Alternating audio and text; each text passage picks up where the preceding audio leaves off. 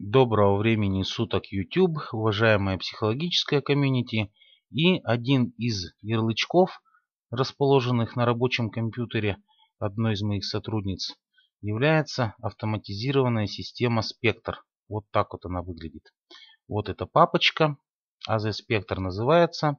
Программа не требует установки, она просто копируется на рабочий стол или в любое другое удобное место на вашем компьютере и не требует никакой установки. Все продумано для неспециалистов, не занимающихся компьютерами, установками, настройками и так далее, и так далее, и так далее. Я думаю, что это видео будет достаточно большим. Возможно, я буду записывать его частями. И будет оно посвящено именно вот этой оболочки этой программе AZ Spectre, автоматизированному заключению Spectre. Как устану говорить, так закончу видео. Как только, значит, почувствую, что отдохнул, или на следующий день как-то, буду продолжать записывать видео по поводу этой программы. Буквально день или два ли назад я разговаривал с коллегой и, в общем-то, понял, ну не в первый раз, наверное, я это осознал, понял, что очень есть большая заинтересованность в нечто подобном у наших коллег. Ну вот давайте я ее запустил, эту программу. Так вот она выглядит. Обратите внимание, это программа нашего изготовления, лаборатория психологического обеспечения, заключение по результатам экспериментально-психологического исследования. Ну и если угодно, по результатам экспериментально-психологического исследования стандартного ЭПИ, проводимого медицинскими психологами в где-то клинике или в каких-то диагностических лабораториях. Ну, одним словом, ускоряем, оптимизируем, в хорошем смысле этого слова, работу психологов-диагностов, которые быстро и легко, благодаря этому программному обеспечению, смогут составлять грамотные, всесторонне обоснованные заключения по результатам проводимых ими психологических исследований, экспериментально-психологических исследований. Понятно, что на данной машине компьютерной эта программа установлена, запущена, а самое главное она зарегистрирована. То есть регистрационный номер и программа пишет, программа зарегистрирована. Остановлюсь еще более подробно на том, что программа не требует установки. Это, в общем-то, касается всех программных продуктов лаборатории психологического обеспечения сделано это специально и осознанно, потому что в большинстве своем какие-то сложности, настройки, прежде всего установки, настройки, оптимизации каких-то программных средств сплошь и рядом встречаются. Мы в своей лаборатории постоянно экспериментируем, испытываем какие-то новые программные продукты, которые находим, опять же, взаимодействуя с нашими коллегами в интернете, сами какие-то новые программные обеспечения создаем. И сейчас у нас в работе две таких программы идет, наши программисты над ними работают. Одним словом, для неспециалиста, для спокойствия, никаких треволнений, никаких установок, никаких особых сложных настроек каких-то наши программные продукты не требуют. Это очень-очень-очень важно. Потому что люди просто не впадают в ступор от того, что надо что-то там настраивать, подстраивать, оптимизировать, вводить еще что-то, какие-то коды и так далее и тому подобные вещи. Здесь все очень просто. Ярлычок без установки запустили, программа оптимизирована, работает. Никаких дополнительных телодвижений не требуется в этом случае. Ну и давайте приступим. Значит, регистрационный код, программа зарегистрирована и, соответственно, настройки. Э, значит, э, все очень просто. Обратите внимание, единственная настройки, которую требует программа, это указать путь к сохранению получаемых данных. Вот обратите внимание, сейчас эта программа будет работать, я ее буду дальше показывать. И все результаты, которые я получу, благодаря автоматизированному заключению, они сохранятся на диске C, Users, рабочий стол, AZ Spectre папочка, AZ Spectre и, соответственно, папочка результаты. И это будут у нас результаты, сохраненные в базе данных. Программа ведет базу данных, соответственно, пополняемая база данных в таблицах Excel, для того, чтобы в дальнейшем специалист мог эту базу данных взять, каким-то образом проанализировать с помощью ли стандартных средств Excel или же с помощью каких-то специализированных программных средств. типа SPSS статистика или же какие-то другие. Соответственно, сохраняем базу данных, пополняемый файл Excel. И индивидуальные результаты, куда без них, никуда без них не деться. Нам надо провести экспериментально-психологическое исследование, получить результаты, открыть эту программу, быстро заполнить, очень быстро, в течение буквально 5-7 минут, заполнить необходимые полученные нами данные в этой программе. То есть программа работает не без участия специалистов и результаты она получает не без участия специалистов. И, соответственно, мы получаем какой-то итоговый результат, опять же, э, в форме, в формате файлов Excel. И, соответственно, их в дальнейшем можно распечатать, вклеить в дальнейшем куда-то в карточку, в историю болезни и так далее и тому подобное. Соответственно, база данных первая настраивается, куда это все сохраняется. И второе, индивидуальные результаты. Так все это и называется. Ну, давайте начнем. Буду говорить много по поводу этой программы, перескакивать может быть с одного на другого, но тем не менее, мне кажется, будет какая-то логика. Нажимаем кнопочку «Начать работать», ничего сложного, и, собственно, открывается у нас сама форма программы. Так вот она выглядит. Давайте я сразу же перейду, наверное, на самое окончание, да. Значит, тут блок четвертый, потом пройдемся по каждому блоку. И вот у нас самое последнее, что мы заполняем. Это четвертый блок. Он включает в себя два подраздела. Я сейчас перешел в самый-самый-самый конец работы этой программы.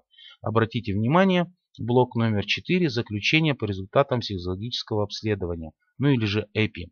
И вот о чем мы говорили с моим коллегой буквально вот на днях, вчера или позавчера уже запамятовал.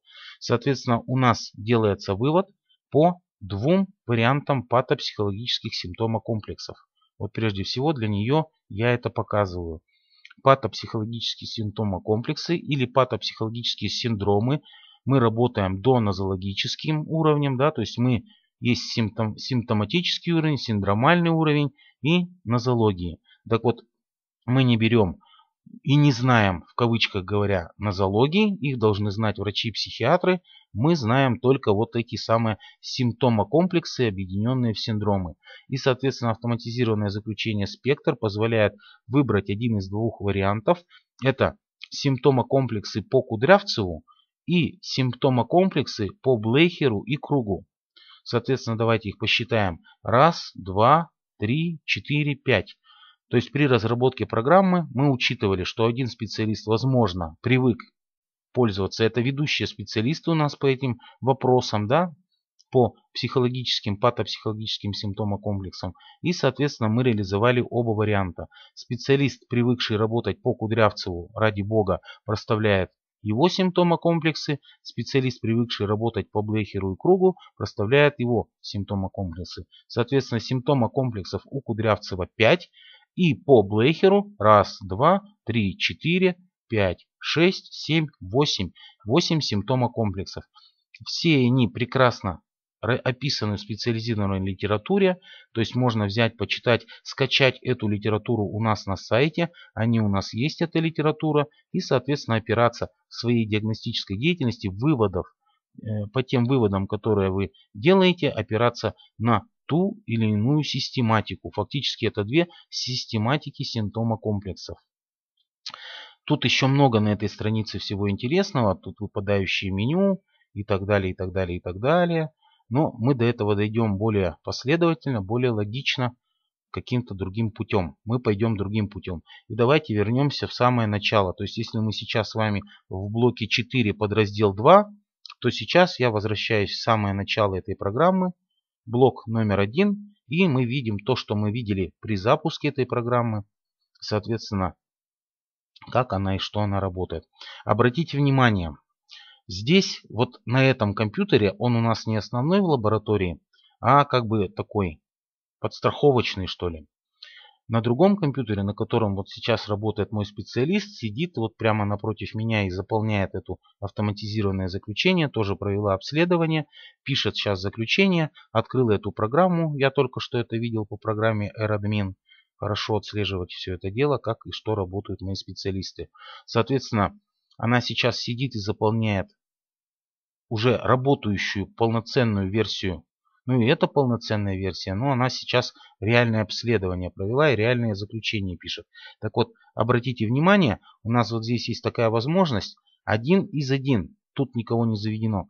Программа сама внутри, помимо того, что она собирает базу данных в таблице Excel, экспортирует, так скажем, то есть после завершения работы, вот давайте на блок 4 перейдем, вот здесь вот мы, значит, все заполнили по всем блокам это заключение. Нажимаем заключение, и она, программа работает, собирает базу данных в том файлике, который я вам уже показывал, и, соответственно, формирует результат. То есть распечатанные э, листочки формата А4, которые можно распечатать в дальнейшем стандартными средствами Microsoft Excel.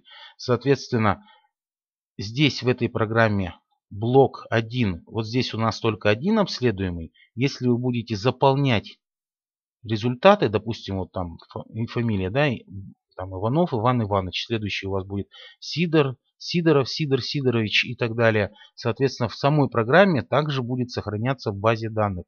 То есть можно будет ее потом актуализировать и посмотреть, как в самом AZ спектр, то есть вот в этой самой оболочке, равно как ее можно будет посмотреть в Excel базе данных. То есть такое тройное копирование получается у этой программы. И сама программа сохраняет данные и, соответственно, грамотно их экспортирует в базу данных Excel для дальнейших каких-то исторических исследований. Это вот важное замечание. Соответственно, ну давайте начнем работать. Вот у нас первый человек. У нас первое, что требует программа обязательно, она требует завести какой-то индивидуальный код. Он очень важен. Давайте его наберем 1.1.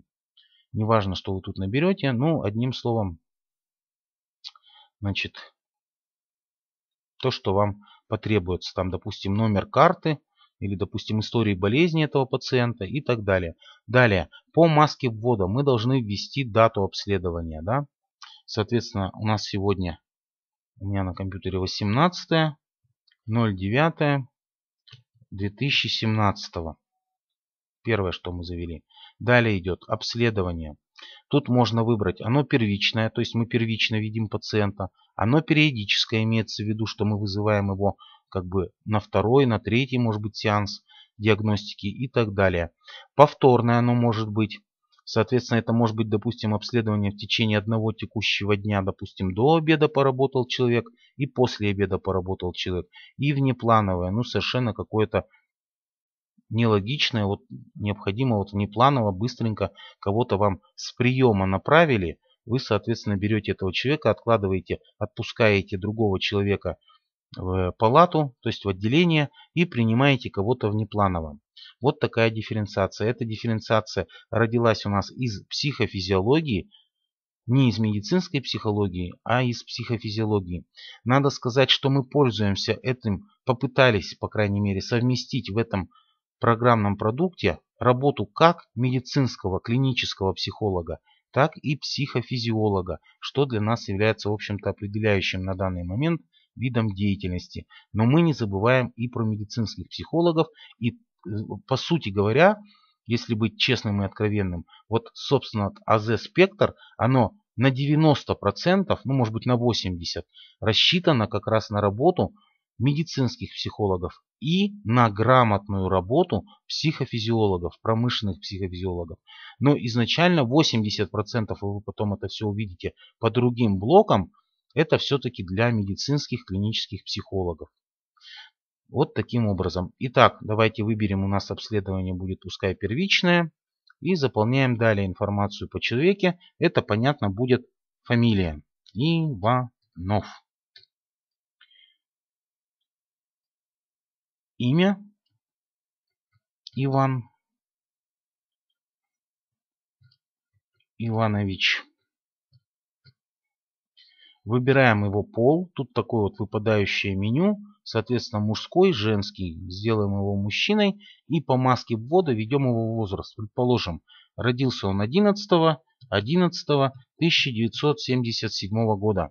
Как только мы с этого поля уходим, у нас вот здесь вот автоматически программа рассчитывает его возраст. То есть Иванову Ивану Ивановичу в данный момент на 18.09.2017 года полных 39 лет. Далее идем. Место рождения. Пускай это будет город Новосибирск. Далее. Выпадающее меню. Состояние семьи.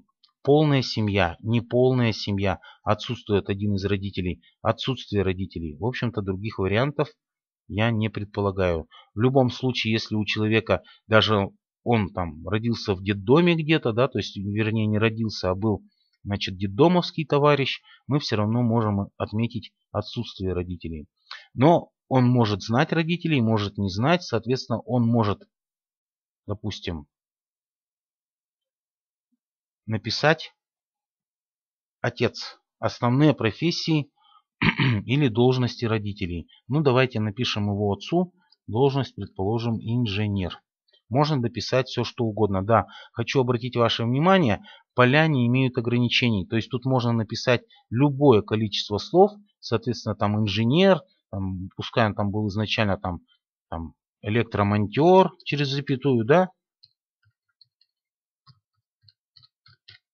Затем он, значит, получил какое-то образование и, соответственно, высшее образование, там назначен на должность инженера, а закончил, предположим, свою трудовую деятельность, если он на пенсии, может быть он и не на пенсии, неважно, ведущую должность, то есть это очень важно для медицинского психолога, то есть по принципу упрощенно, примитивно, где родился, там и пригодился, то есть яблоко от яблони недалеко падает, или наоборот, если шутить. Соответственно, можно представить себе какую-то общую канву, обстановку в семье обследуемого нами человека, четко понимая и представляя, кто его родители. То есть это люди с высшим ли образованием.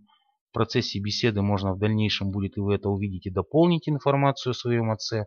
Или же это люди с невысоким уровнем образовательным, соответственно, занимаемым ими должности. Ну, допустим, матушка, пускай у него будет бухгалтер. Бухгалтер. Вот у этого нашего Иванова Ивана Ивановича. Далее, мы можем с вами выбрать наличие братьев-сестер. Все идет по стандарту. То есть, когда медицинский психолог садится, у него индивидуальная беседа с пациентом, он, как правило, спрашивает такие вещи, как вас зовут, когда вы родились, проставляет сам ручкой пишет да, на бумажке в протоколе исследования, пишет возраст этого человека, спрашивает, родились в полной, неполной семье, есть ли у вас братья и сестры, ну, одним образом стандарт. И, соответственно, мы можем выбрать наличие братьев-сестер, да, нет. Очень быстро это происходит на самом деле в процедуре заполнения Z-спектр. Мы можем не просто указать, что у него есть братья и сестры, мы можем записать их количество. Ну, предположим, у него есть брат и сестра. Образование. Выбираем неполное, незаконченное образование, то есть чего-то он там не закончил, школу, допустим, не закончил. Неполное среднее до 8 классов, среднее образование 11 классов, начальное профессиональное, ну так по старинке мы написали ГПТУ, сейчас это все называется как-то по-другому, но тем не менее можно четко проследить иерархию. То есть не закончил вообще ничего, да, редко такое случается. Ну и соответственно первый вариант предлагается неполное среднее, среднее, начально-профессиональное, среднепрофессиональное, имеется в виду по старинке техникум, колледж, но специалист может это потом дополнить в заключении. Высшее профессиональное, ну и, предположим, незаконченное, можно также потом написать в примечании, имеется в виду незаконченное среднее, предположим. Дописать словом незаконченное среднее или же написать, допустим, незаконченное высшее варианты могут быть разными и, соответственно, автоматизировать можно только подобным образом. Заполнили. Идем дальше. Служба в рядах вооруженных сил, специализированных подразделениях. Большой разрыв, да, но мы его потом дополним в следующих блоках между как бы основной информацией, так называемые персональные данные, и потом раз и тебе тут вроде как бы служба в армии. Но не пугайтесь, в остальных блоках все это будет раскрыто, уточнено и так далее и тому подобное. Итак, если он служил в мы заполняем, если род войск и, соответственно, место службы обязательно.